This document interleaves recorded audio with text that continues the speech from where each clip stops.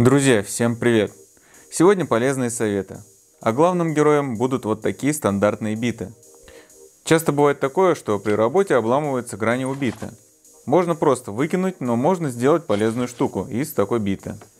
Для этого берем болгарку, зажимаем биты в шуруповерт и стачиваем все грани у биты, а кончик делаем острым.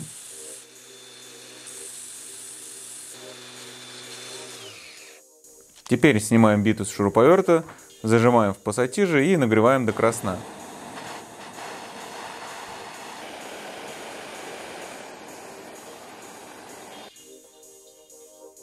А затем опускаем в минеральное масло, тем самым закаляя металл. Получился вот такой бесплатный керн. Не тупится долгое время.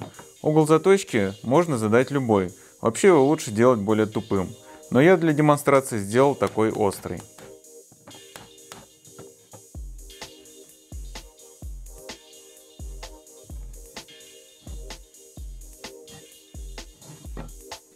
Вообще, если есть желание немного увеличить срок службы дешевой бите, то можно попробовать сделать процедуру закалки как с керном.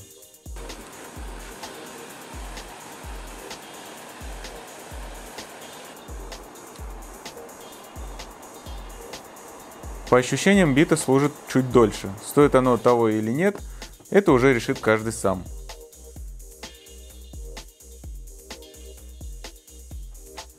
Бывает такое, что саморез плохо магнитится к бите и постоянно падает, а крутить надо в труднодоступном месте одной рукой. Поможет нам в этом вот такая трубка, от которой отрезаем небольшой кусочек. Обычно я его ввожу в ящики с инструментами, на всякий случай. Надеваем этот кусочек на биту, так, чтобы трубка немного выступала из биты. Теперь утапливаем в трубку шляпку самореза, и она там отлично держится. Кстати, многие до сих пор путаются в видах бит и саморезов к ним. Из-за этого саморезы плохо крутятся, а биты гораздо быстрее стачиваются. Итак, вот два самых популярных вида бит и саморезов к ним, которые надо запомнить. Их легко отличить. Первый вид биты – это так называемый PH. Привычный нам крестообразный шлиц был изобретен еще в далеких 30-х годах. Через несколько лет патент на данное изобретение выкупил предприимчивый Генри Филлипс. Поэтому этот вид биты так и называется Philips, а сокращенно с английского PH, как первые две буквы названия. Профиль PH выполнен строго под определенным углом в 55 градусов и с наклоном боковой поверхности каждой грани. Саморезы под такую биту имеют просто крестообразный вид, без дополнительных меток. А через 30 лет та же самая компания Philips модернизировала это изобретение и миру представили шлиц Posit Drive PZ. Его отличительной особенностью является, во-первых, дополнительная грань, расположенная в четвертях шлица. Бита получается как бы восьмишлицевая. Четыре основных грани, четыре дополнительных. При этом головки саморезов и шурупов получили аналогичные насечки. Все это позволило еще лучше центровать жало. Во-вторых, кромки рабочей поверхности в PZ, в отличие от PH, выполнены параллельно друг другу, а не под углом на сужение. У PH эта конусность сделана специально для того, чтобы в конце операции закручивания бита выскакивала из головки. Так называемый эффект самовыталкивания. Профиль PZ выполнен уже под 50 градусов, а не 55, как у PH. Так, продолжим с изношенными битами, которые мы не выкидываем. Берем вот такую и отпиливаем от нее головку.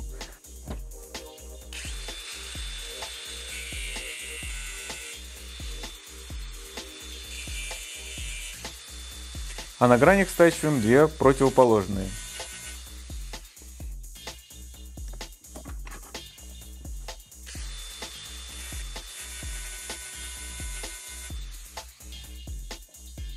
Получается отличный держатель для головок. Не всегда в наборах у меня такие есть, а бывает приходится что-то крутить много, трещоткой долго, а шуруповертом гораздо быстрее.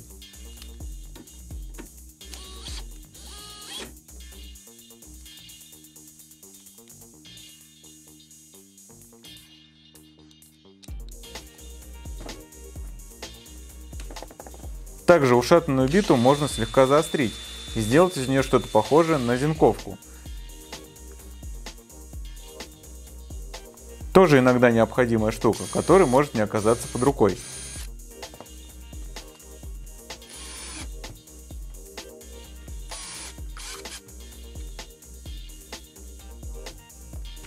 Кстати, биту можно слегка подправить, и она послужит еще немного. Друзья, вот такое, надеюсь, хоть немного познавательное видео сегодня получилось. Надеюсь, для себя вы нашли что-то полезное, и если это так, то ставьте лайки и пишите в комментариях, как можно еще использовать отслужившие биты. Подписывайтесь на канал и подписывайтесь на телеграм-канал, там тоже много полезного. Скоро начнется строительство дома, и новости можно будет практически в режиме реального времени. Буду стараться выкладывать полезные наблюдения. Всем спасибо за просмотр и до новых встреч!